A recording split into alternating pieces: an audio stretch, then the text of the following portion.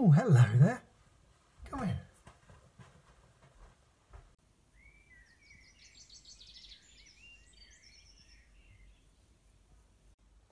So, for the last six months or so, I've been stuck in semi isolation, and um, well, to be honest, it's got me thinking. What have I been thinking about? I've been thinking about the most precious thing in the world. Is it money? Is it oxygen? Or is it cheese? It could be cheese. But it's not cheese. Step away from the cheese, Jonathan. Some may say love or hope or charity, and of course they'd be right in their own way. But for the sake of this little waffle, I put it to you that the most precious commodity is time. Yes, my friends, time, that abstract concept that can neither be bottled, tied up, or nailed to the wall. But time is something we all seem to have had a lot more of recently. Time on our hands, time to make plans, time to kill, and time to think. This extra time that's landed in our laps is an incredible gift. So I've been thinking about time a lot. Let's say, for the sake of argument, that I've been allotted 100 years on this earth in this body.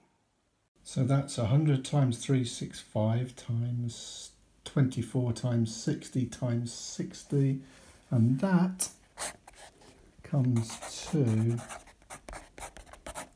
a lot of seconds. But coming back to this isolation period in particular, six months is still a hell of a lot of time. In that time, I could have learned to do this. Or this. Or even this. And if I'd trimmed just one hour off my normal sleep allowance during the last six months, I'd have gained seven whole days. Hold on, that can't be right, can it? Yeah, that's right.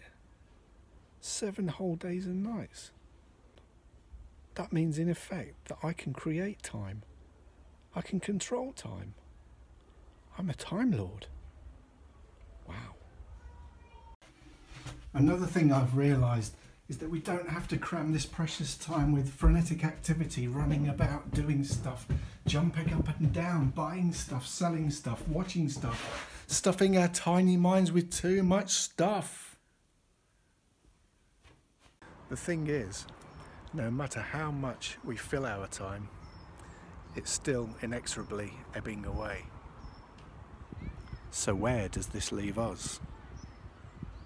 If we have a set amount of time between now and our grand finale, it's up to us, within the physical constraints we find ourselves in, to use the time as we see fit.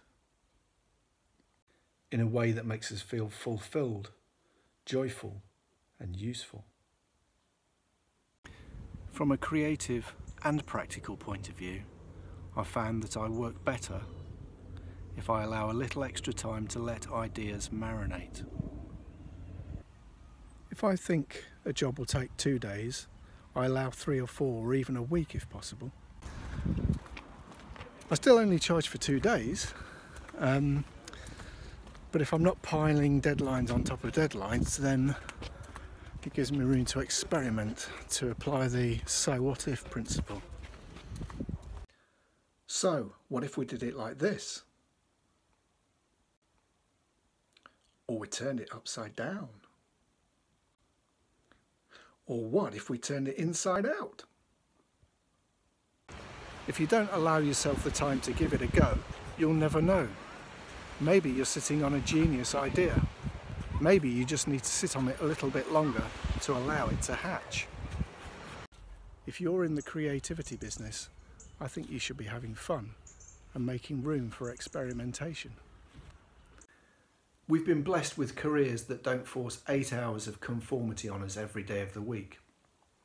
Or at least we occasionally have the option to break free from the rigid confines of the commercial grind. This period of isolation has given us a real chance to evaluate things. It's given us a whole heap of time. How we use it is totally up to us, of course.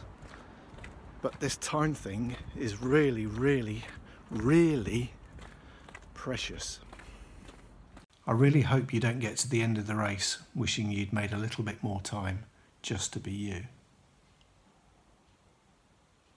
Of course, I may be completely wrong. Maybe the most important commodity actually is cheese. But only time will tell.